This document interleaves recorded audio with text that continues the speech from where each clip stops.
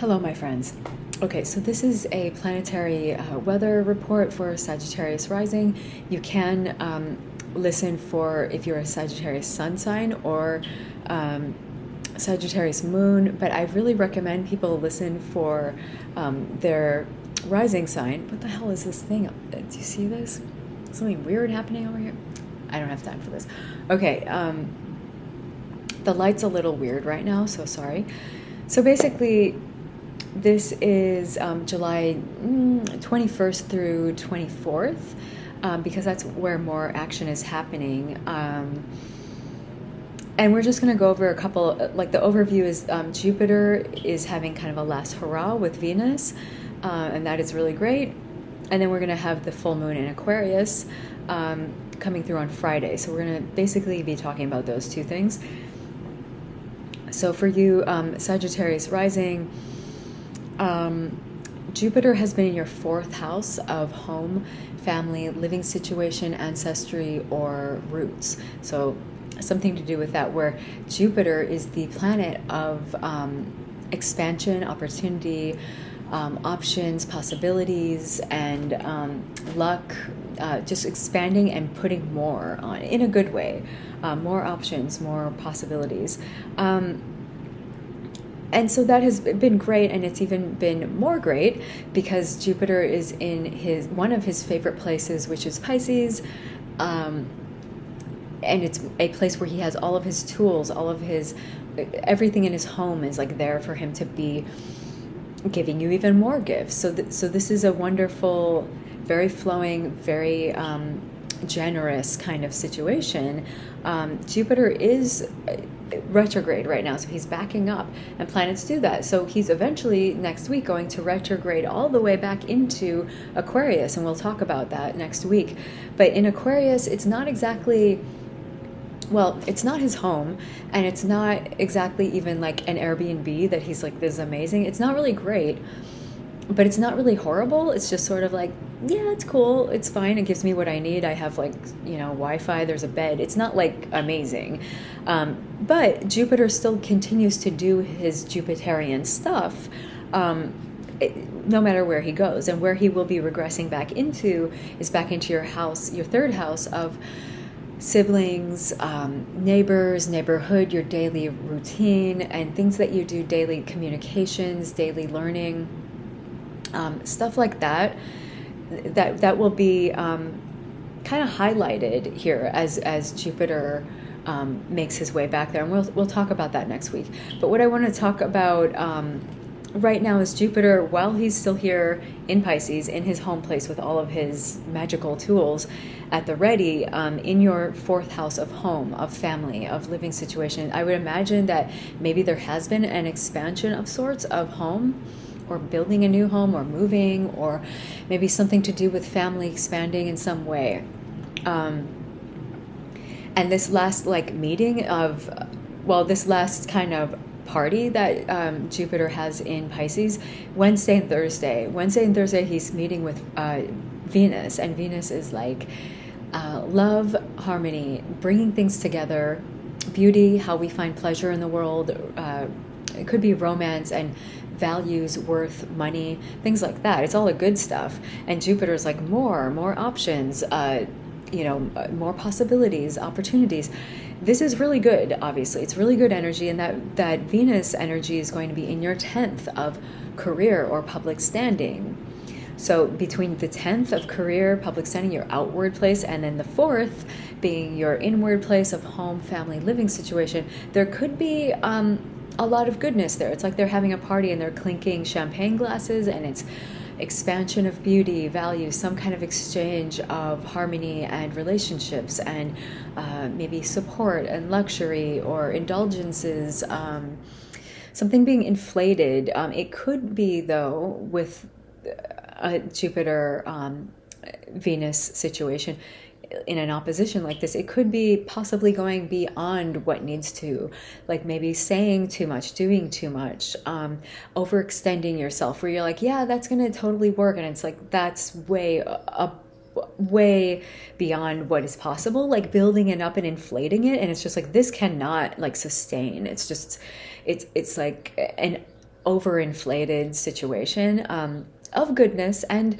great, but you might find yourself overdoing it in the realm of, you know, money or eating or drinking or relationships or something like that, but having to do with the 10th house of career and the fourth house of home and family. So that is um, Wednesday, Thursday, where, you know, have fun, have the party, but like keep things kind of under wraps because you don't want to go too far where you have to like deal with something afterward that would be, you know, a little too much. So we so we're having um, Jupiter in his favorite place, meeting with Venus, and she's you know doing all this great stuff, bringing these this beauty and this kind of bounty of of romance and beauty and just uh, gifts, kind of a, a, gift bringer to your tenth house of um, career and public standing. And then on Friday we're having the full moon. Um, in Aquarius, and that is in your uh, yeah your third house of siblings, of neighbors, of neighborhood, your daily route, things, people you know in your neighborhood, or things you do on a day to day basis that are just kind of your trance world. Like you're just like, I don't even know how I drove here, but I just know I drove to the grocery store. And you're just day to day life kind of things, communications, basic life kind of stuff. Um, full moon there, it's kind of like coming to a harvest point or a culmination of okay so this is where we're at. And let's look at this area. What do we have to look at in this area? It's fine. However saturn has been sitting there since last december and that's becoming it's it has been and it will continue throughout this year and then into next year to be a heaviness or a responsibility or a um you know a sense of duty or red tape or lockdown or um just a stagnation of some sort or something that you can't really push for through. It's like a wall of some sort in that third house of siblings neighbors neighborhood routine communication. So the full moon is kind of like that's great you had your party and that's whatever but like we're having this moment now to shine a light on the fact that saturn is sitting here and still needs to be addressed in that house.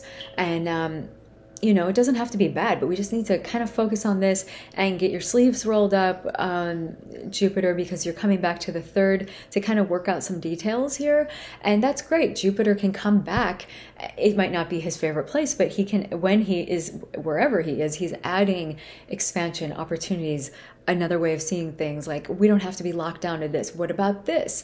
So that is really good. It can like be a bit healing, a bit of a moment of, uh, we have more options here, more cards on the table with Jupiter moving back into that place of siblings, neighbors, neighborhood, um, and communications. So uh, that we will talk about that more um, next week because there's a whole story to go into with that. We're not going to go into that.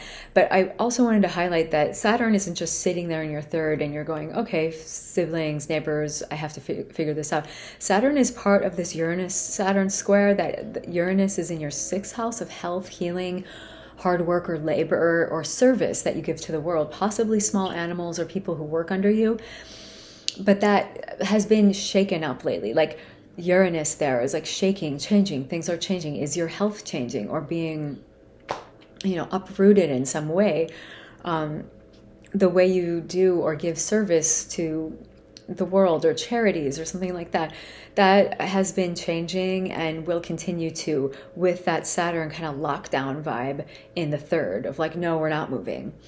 We're not uh, open minded. We're, I mean, I don't want to say we're not open minded, but it's like, it has to be this way. There's a wall, there's a red tape, there's this, that. Saturn is always the reason why you can't quite do it right now. And Uranus is always like, but I'm doing it right now. And the wall doesn't even uh, matter to me. I'm just going to bust right through it. So there it is that tension still remaining between your third of, you know, the place of siblings, neighbors, neighborhood, daily life, and then the place of health, healing, service that you might do in the world, maybe pets or people who work under you.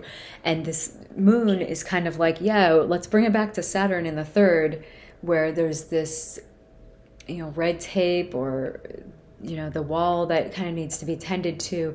And Jupiter is kind of being called back to do his Jupiter magic there. And, um, Jupiter will be um, going direct soon Um, and then we'll go out of um, Aquarius moving back into Pisces and back into your fourth house of home, family, living situation. But that doesn't happen until literally like New Year's Eve, like December 28th or something. So it's it's a while until Jupiter comes back to his amazing place. Um, but that's not to say that he can't do great things and work wonders in that third house of siblings and neighbors. Um, it's just the place of like oh we gotta we gotta figure this out. So that is kind of what is going to be highlighted here with this moon coming through.